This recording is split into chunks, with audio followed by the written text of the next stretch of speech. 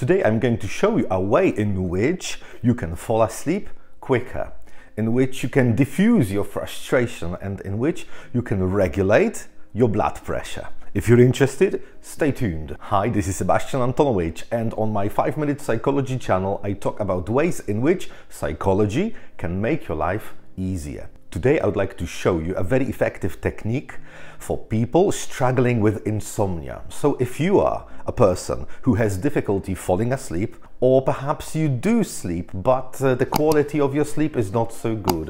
In all of these situations this technique that I'm going to present to you can be effective. But also there have been some studies showing that a lot of patients with hypertension, so blood pressure, high blood pressure can benefit from this particular technique as well.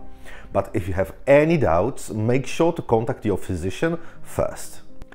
This is a breathing technique called 478 and I'm sure a lot of you have already seen my other videos on breathing techniques and this one, well, this technique is for these people who have already tried my other techniques like for example the diaphragmatic breathing.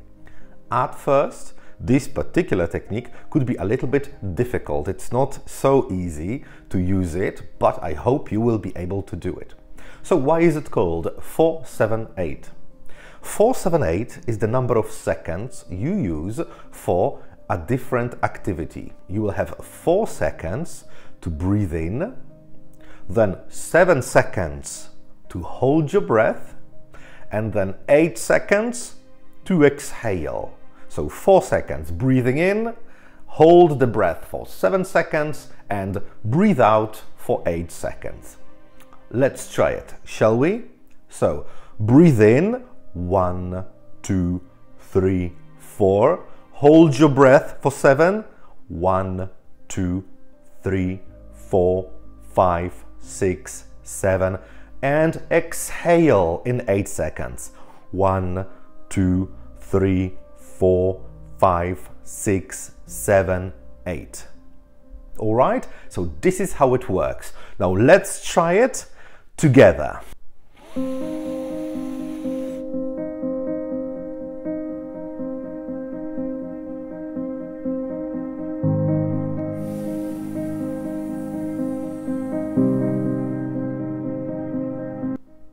I usually instruct my clients to breathe in uh, through their nose and breathe out through the mouth. But it's not so easy if you are not used to breathing techniques. So if for you breathing out for these eight seconds is a bit of a struggle, you can, for example, pretend that you are whistling like this.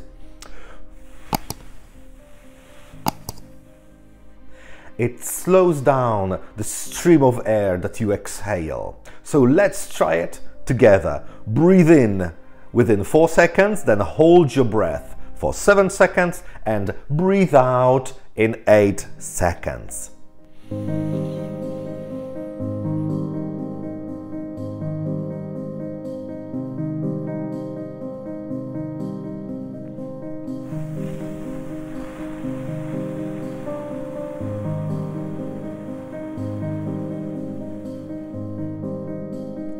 It's much easier this way, isn't it? Now you should be able to repeat this exercise four, five times at the very beginning. But with time you will be able to do it much, much more often. But the number of you repeating this uh, exercise in a row will increase as you get better and better at this particular exercise. Now, if you starting feeling dizzy, that's also to be expected, but it's just a sign that you should stop for now and come back to this exercise later on. There is nothing to worry about, but perhaps for this particular moment you've had enough. Also, if you want to know more about breathing techniques used for insomnia, for dealing with stress, for unwinding, for diffusing frustration, for lowering your heart rate and your blood pressure, make sure to check out my other videos. You will find somewhere around here. They should be visible around here already. And also, Every Thursday I upload a new video and I want these videos to be adjusted to your needs. So let me know in the comments why you are using this technique. Are you fighting with insomnia? Or perhaps you are too stressed out Or maybe there's something else that you would like to tell me about. If I know better what problem you are struggling with, I will be able to help you more effectively.